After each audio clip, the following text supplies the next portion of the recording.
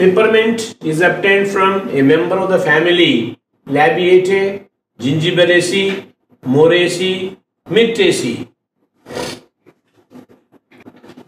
Peppermint is obtained from Mentha piperita, Mentha piperita, Lamiaceae family.